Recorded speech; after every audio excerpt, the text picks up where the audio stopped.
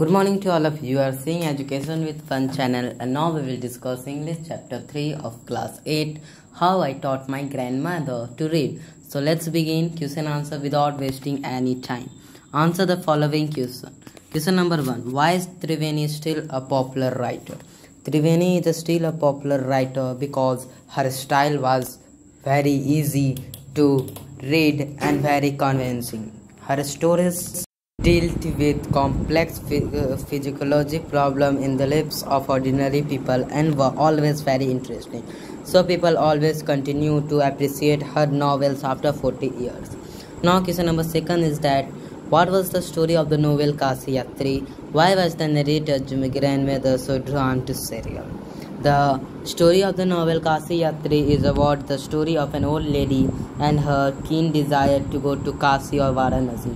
Most Hindus believe that going to Kasi and worshipping Lord Vishweshwara in the uh, is the ultimate punya.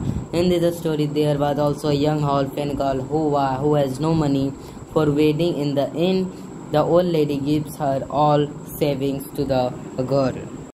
The narrator grandmother was so drawn to the serial as she too never went to Kasi. She identified herself with the novel in central character of the story. Uh, you know that you see that there is a long question because this chapter all answer are very long but if you are knowing very well then don't problem.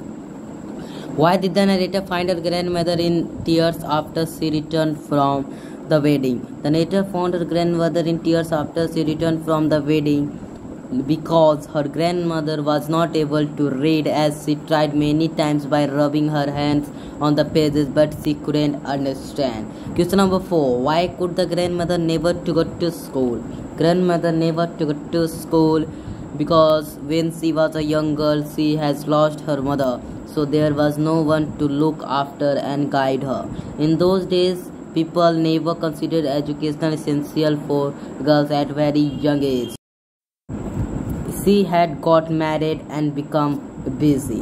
Now it's the last question, question number 5. Why did the grandmother touch the feet of the narrator? The answer is the grandmother touched the feet of the narrator because her granddaughter has helped her in teaching and the duty to respect her teacher, who has taught so well that her grandmother can read any novel confidently in such a short period and also was independent. This question answer has been completed by Education with Fun. So like this video, subscribe this channel and share video to your friends. Bye bye everyone.